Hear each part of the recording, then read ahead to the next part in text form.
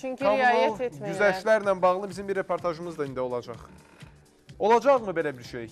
Gözlənilirmi? Hansı şərtlə ola bilər? Araşdırmağa çalışdıq. Diqqətlə izləyin.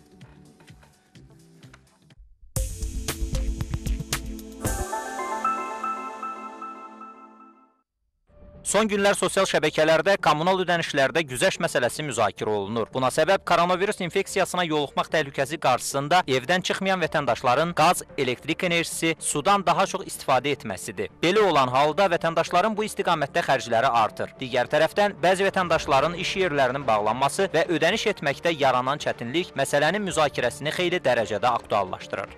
Nisbətən olmağı yaxşıdır, bəli. İnsanların bu iş yerləri bağlanmaq insanlara daha kömək olar. Çünki çox yerdən maaş alanmırlar, iş yerləri bağlı olur, şəxsi iş yerləri olduğu üçün e, maaş vermirlər. Dövlət işi olsa nisbətən maaş ödənişi olunur. Ona görə də kommunal ödənişlər azalsa və yaxud bir neçə ay kömək olsa daha yaxşı olar. olmalıdır da. Evdə cəmaət oturur. Dövlət onu da nəzərə almalıdır. Neçə ay karantin çəkəcəksə o dövrəcən də bu davam etməlidir. Millət vəkilləri indiki vəziyyətdə vətəndaşların xərclərini yüngülləşdirməkdən ötürü hökumətin hazırladığı tədbirlər paketində kommunal ödənişlərdə güzəşt məsələsini zəruri hesab edirlər. Mütləq olmalıdır, kommunal güzəştlər olmalıdır. Adam işləyə bilmir. İşləyə bilmirsə güzəştə yanaşmaq lazımdır. Çünki vətəndaşın gəliri artıq ə, əvvəlki səviyyədə deyil. Ona görə də burada mütləq hər tərəfli hamı bir-birinə anlayış göstərərək müəyyən güzəştlərə nail olmaq vacibdir.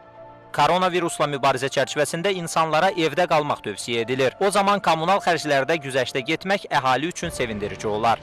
Vətəndaşın əgər işləmirsə, hardan ödəsin? İşləyəndə bu pul çıxır ki, bunun çıxmayandan sonra vətəndaş nə etsin? Müəyyən dərəcədə ödəniş məsələsində ə, güzəştlər edilməsi nəzərdə tutula bilər və bunun da bir sosial paket hazırlanıb ortaya qoyulmalıdır ki, vəziyyəti biraz yüngülləşdirə bilər. Bunlar hamısı müvəqqəti xarakter daşıyacaq, çünki vəziyyət düzələndən sonra təzədən bərpa eləmək olar. problemi hökumətin diqqətinə təqdim etmək lazımdır ki, hökumətimiz də dərhal bundan bağlı qərarlar qəbul etsin.